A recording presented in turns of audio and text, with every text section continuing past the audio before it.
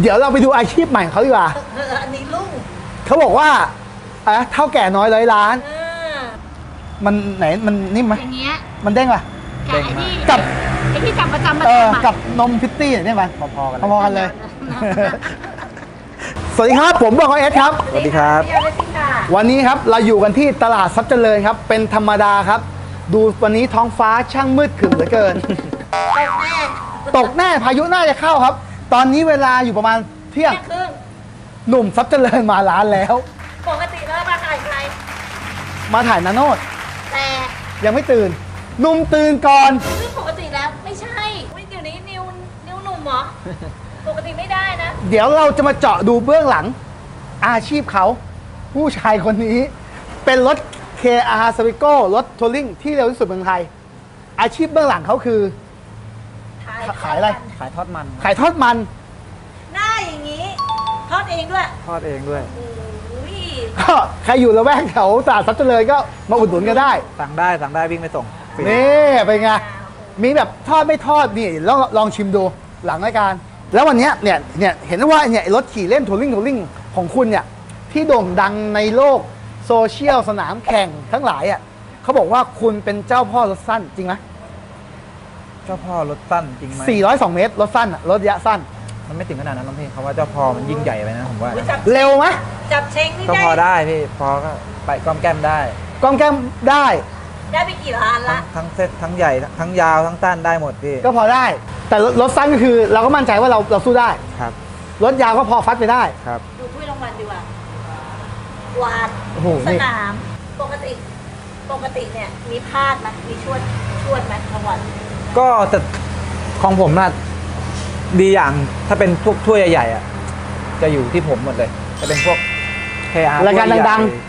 แดดถ้วยใหญ่ อะไรพวกเนี้ยจะที่จะเป็นถ้วยแบบถ้วยประจำปีอะไรเงี้ย อยู่ที่ผมหมดเหมือนกันนะแล้วของหนุ่มใครขี่ทุกรุ่นเลยอ่าแบงค์บุญหอ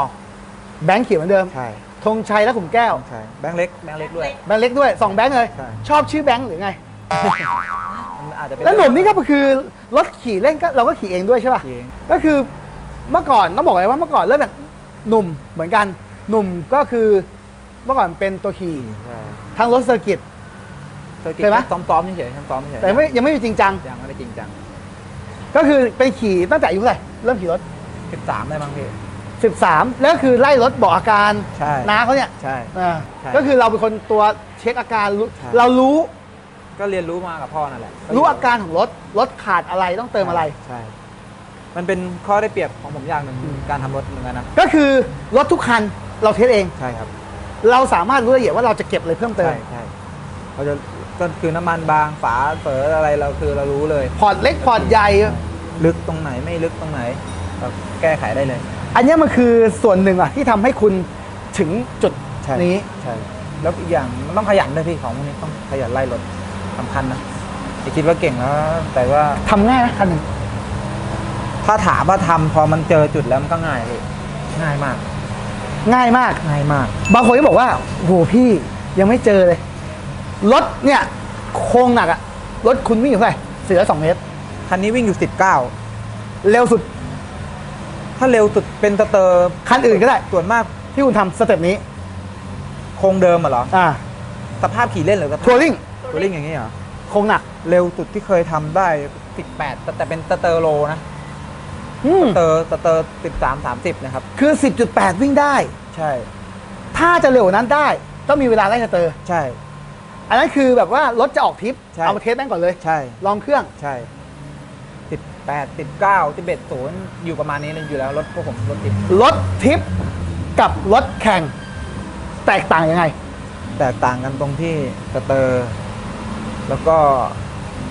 ถามว่าสเปคบล็อกพวกเครื่องยนต์เสื้อสูบอะไร สเปคเดียวกันหมดเลย แต่ถ้าสมมุติเราเราจะทำแข่งทางสั้นเราก็จะมาไล่ฝาไล่สเตอร์หาเอาแค่นี้เองสองอย่างใช่ฝากับสเตอร์ฝาสเตอร์อย่างน้ำมันอย่างบางคนแบบคิดเยอะอุ้ยรถถ้าเป็นรถทริปต้องแบบนี้มันต้องมาเกียร์ยาวๆลับๆ ถ้าเผื่อเป็นรถแข่งต้องมาเกียร์ชิดก็รถผมแข่ง 400 เสร็จผมเปลี่ยนสเตอร์แข่งโลได้เลยพี่ก็เห็นอยู่ ๆ ก็คือรถแข่งเสร็จ อยากจะแข่งระยะแค่ไหน มีเวลาให้ถอดฝาใช่ ก็เปลี่ยนสเตอร์ ใช่คือจบแล้ว อีกอย่างหนึ่งเผื่อไว้น้ำมัน ใช่ยังไงก็วิ่งได้ ได้ ก็คือหลักการง่ายๆของรถพวกนี้ 400 หรือโล ถ้ารถมันจะเร็ว มันก็เร็วอยู่แล้ว ใช่ มีแม่งไหมที่พลาดในการคำนวณมีบ้างไหมเหรอครับ ก็ก็มีมีถ้าสมมติเราผมจะเสียเปรียบตรงที่ว่าสมมติผมทำรถตั้นอยู่ใช่ไหมพี่เราไปแข่งรถทางยาวอะช่วงเวลาแล้วรถผมมันเยอะนะแต่ละรุ่นอะ มันทำไม่ทันอย่างเงี้ยบางทีบางคันลืมเพิ่มน้ำมันลืมเพิ่มฝาแม่งก็พังเคยเพี้ยนไหมเห็นเออแบบ เดี๋ยวก็โดดคันนี้แม่งสเปคนี้ก็คือพอมนกระโดดคันนู้นนั่งเกาหัวอยู่อย่างเงี้ยเฮ้ยแล้วตกลงกูเมื่อกี้กูไล่คันไหนวะเคยเจอไหมเยอะเกินเจอครับเจอบ่อยเจอบ่อยมากเออเมื่อกี้กูไป test คันไหนวะนั่งหาไอ test คันไหนนะรู้แต่ว่าเอ้ยคันนี้เปลี่ยนอะไรไปยังวะอะไรอย่างเงี้ยจะเจอประมาณเนี้ยไปแล้วหรือยังใช่ ทุกวันนี้คืองานหลักๆคือ test คนเดียวรอคนเดียวทำคนเดียว ก็หรือมีลูกมือก็มีพวกน้องช่วยทำก็มีพวกน้องๆช่วยกันใช่ step อย่างเงี้ยใช้เงินเท่าไหร่เครื่องอย่างเดียวเหรอเครื่องเดียว เมื่อก่อนผมทำอยู่ประมาณแสนนึงแต่เดี๋ยวนี้แปดหมื่นห้านี่คือสอดคล้องกับยุคเศรษฐกิจต้องหรือยังไงมาถ้าเมื่อก่อนทำอยู่หลักเท่าไหร่นะหลักแสนหลักแสนที่มีอะไรมาบ้างถึงถึงไม่ต้องมีอะไรมาเลยเอารถมาตัวอย่างเดียว ใช่เอาแข้งข้างข้างเลขมาอย่างเดียว คือเครื่องไม่ได้มาเป็นตัว ไม่ต้อง ขอมีรถแล้วก็มีแข้งหมายเลข ใช่ ที่เหลือกลับไปขี่ได้เลย ครับผม เป็นเบื้องหลังคนอื่นหลายมุมมากไหมเบื้องหลังนะครับ ไม่ขอพูดดีกว่าพี่ เออมีมีมีบ้างมีมีบ้าง มีบ้าง ตอนนี้คุณทำอะไรขายดีกว่า ที่ร้านคุณขาย ที่เป็นอะไรของตัวเองก็ ของผมเองอะเหรอ อ่าไม่ที่คุณทำขายเนี่ยที่ร้านคุณมาซื้อเนี่ยก็พวกกล่องไฟ กล่องไฟสำหรับรถอะไร KR Dash LS มี Sonic Wave ในมีหมด ทุกรุ่น ตัวเองเลยเหรอแบรนด์ตัวเองใช่ แล้วแคมอะ แคมก็มีทุกรุ่นเหมือนกันก็ร้านมาซื้อได้เลยมีขาย ใช่ แรงไหมได้อยู่พี่ หรือแล้วแต่ช่าง ก็แคมเดี๋ยวนี้มันถามว่าทำที่ไหนแม่งก็ทำที่เหมือนเหมือนเดีกัยวนแหละ เอออยู่ที่เรามาปรับ แต่เขาบอกว่า 125 คุณเร็ว จริงป่ะ พอได้พี่ เขาบอกรถโล125หนุ่มก็เร็วนะ อะไรอย่างเงี้ย เอาเรื่องเอาเรื่องนเพราะอะไรอะพวกเวฟมันก็มันเป็นรถที่ทำง่ายนะ ผมว่านะทำให้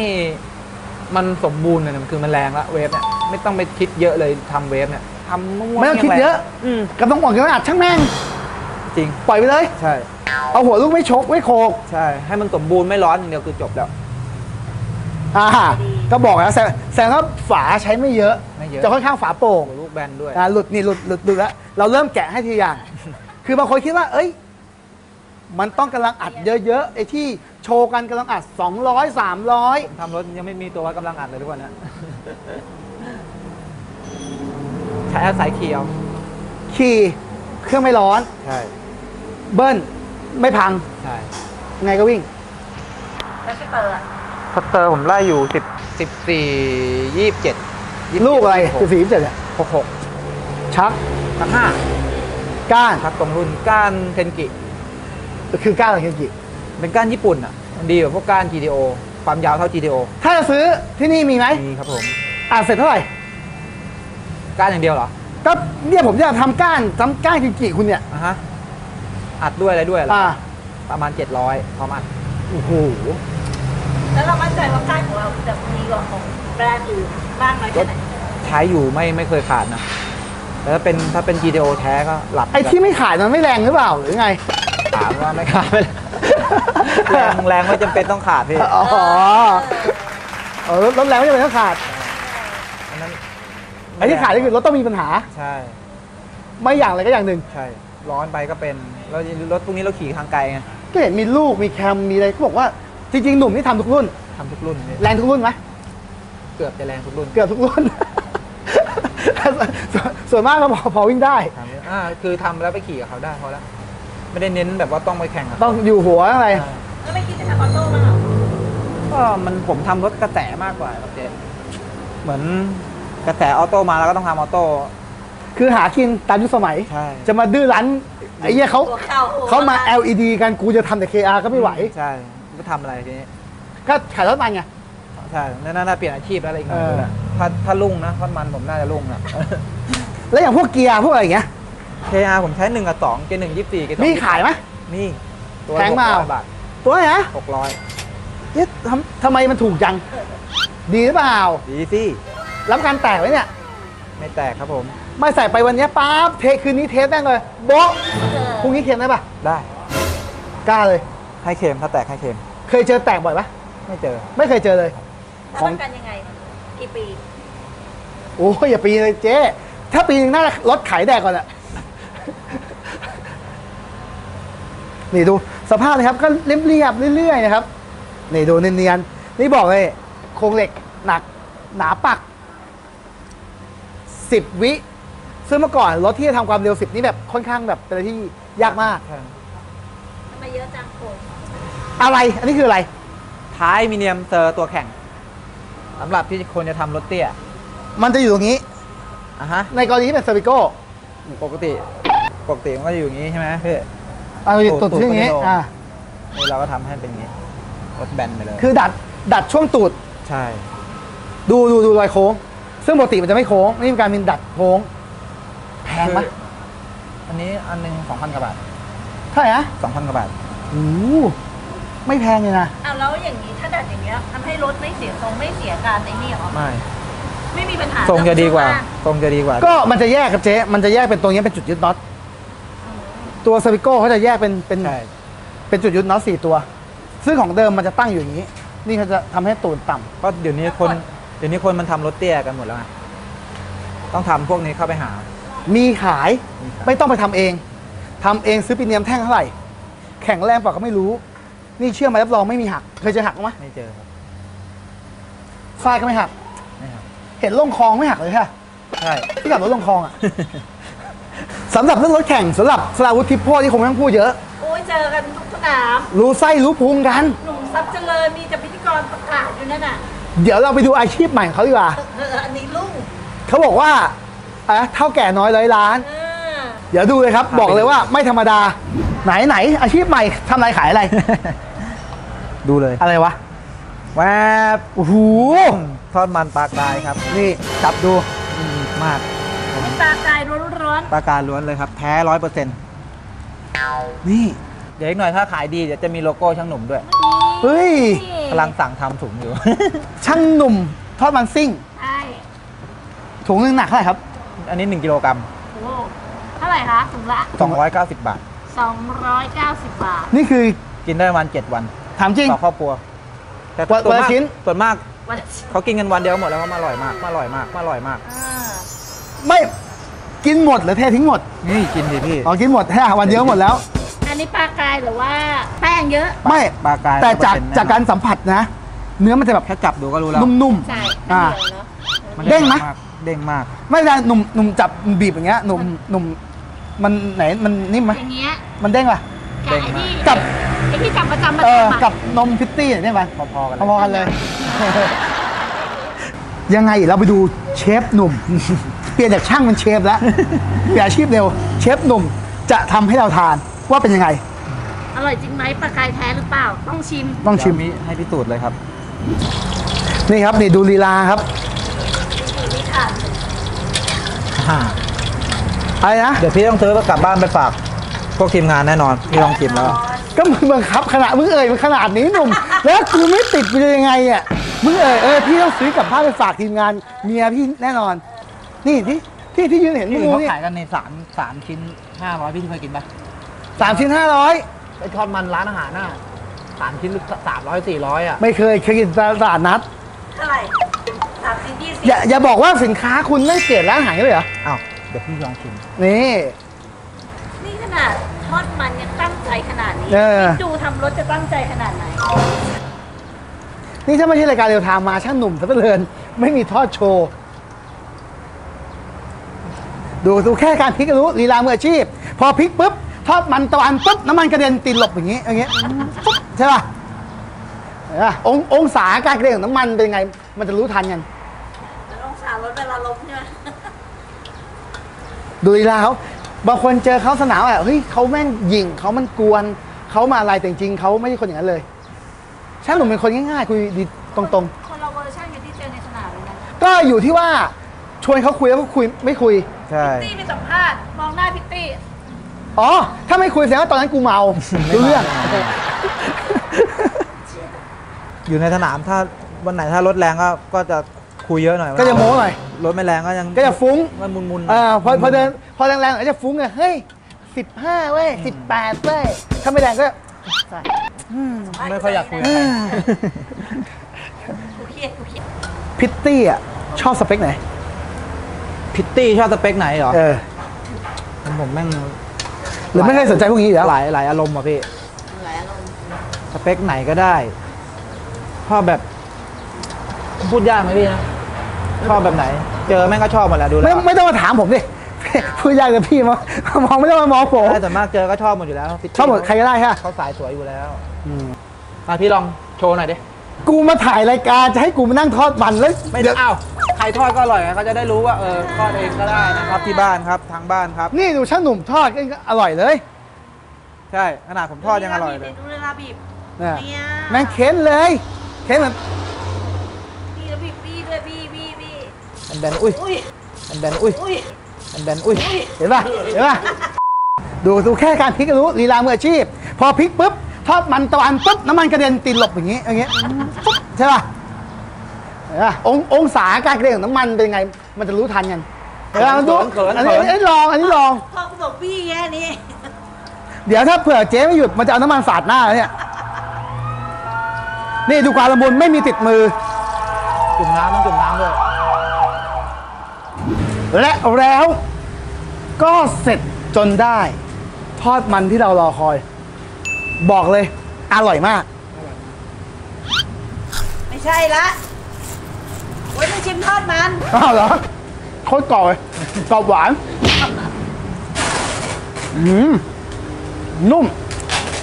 อ้าปากเยอะๆแบบดาราเออ เยอะใหญ่เออเออ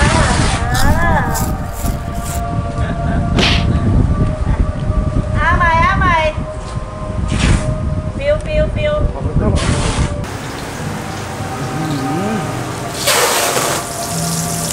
กัดแรกอะเอาลูกนุ่มๆ แล้วมันเหนียวเหนียวๆมันเด้งๆอยู่ในปากกินทั้งเซตรสรสชาติความเผ็ด มันอมอมๆมันไม่เวอร์กินได้ เนี่ยดูเด็กยังกินได้เลยเห็นไหมเห็นไหมเด็กกินได้ อืม เพื่อกินดีอืมไม่น่าเชื่อทั้งหนุ่มแม่งมีฝีมือทางด้านนี้อาทิตย์หน้า ใครยังเคอาอยู่ ไม่ต้องมาเอาร้านปิดแล้วขายทอดมันเป็นทางการแต่ถ้าทอดมันรวยกว่าเป็นเรื่องขายทอดมันจริงนะสองร้อยเก้าสิบบาทอืมกิโลละกิโลละครึ่งโลร้อยห้าสิบบาทอืมครึ่งโลด้วยครึ่งโลร้อยห้าสิบเอากี่ถุงเดี๋ยวสั่งเลยกี่ถุงสิบถุงอะไรทำมีอยู่บ้านเดียวให้ถุงถ้ากูมีติดบ้านกูจะได้ถุงเลยอะเมียน้อยมันเยอะ เออเออฝากเออมึงฝากเมียน้อยมึงหน่อยดิแฟนๆต้องถามว่า แล้วช่างหนุ่มนี่ใช่ช่างหนุ่มที่ทำรถเร็วๆแรงๆใช่ไหมครับ นี่ครับ อาชีพหลังโควิดใช่ครับถ้าหนุ่มฝากเพจฝากร้านหน่อยค่ะ ก็ร้านก็เพจก็ช่างหนุ่มตับเจริญครับ ส่วน Facebook Facebook ก็ตลาวุฒิหนุ่มชิดโคตรชื่อจริงเลยเบอร์โทรศัพท์0 9 9 9 0 5 8 8 3 2 ครับกิโล ซื้อกิโลสั่งเลยอย่างเลยอะในถังที่หกกิโล 40เดี๋ยวจัดให้พี่เลย แต่กิโลยกขึ้นรถเลยโลนอร่อยโอเค วันนี้ขอตัวไปก่อนบ๊ายบาย สวัสดีค่ะ โลนนะครับ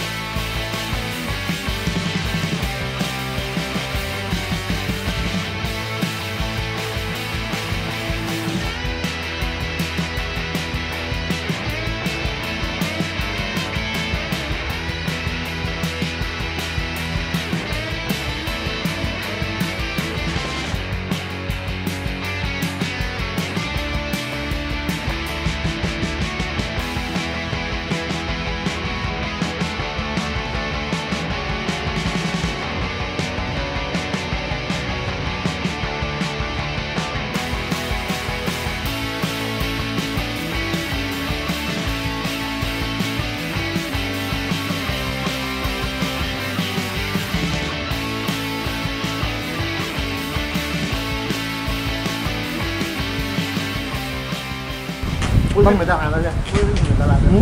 กินไปครับสองคำแรกเลยอะพอคำแรกก็กัดปุ๊บอะมันแต่ปวดอืมไอ้เหี้ยเดี๋ยวกินเดี๋ยวกินอีกชิ้นหนึงเดี๋ยวกินอีกชิ้นหนึงเดี๋ยวกินอีกชิ้นหนึง